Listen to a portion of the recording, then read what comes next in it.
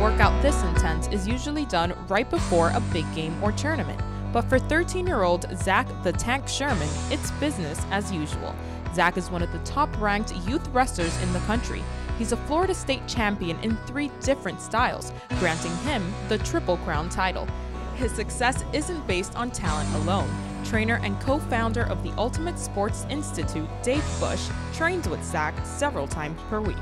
Hold, ab. Zach's amazing because he pretty much comes in with the, with the determination and motivation really on his own. I practice a lot and I've been doing it for a long time. Zach has a great support system starting with his dad, Gary Sherman. Sherman is at every practice and training session making sure his son is giving it his all. While his trainers jokingly call him the stud, Sherman sees what's behind the discipline. He's got tremendous amount of heart. He leaves it all on the mat when he wrestles. Zach travels throughout the country to compete against the top wrestlers in his weight class. While his drive is partially due to his competitive nature, his biggest competition is himself. The good thing about Zach, every time he comes in, we're able to challenge him with something new. So I see him continuing to improve because it's his own desire to get better.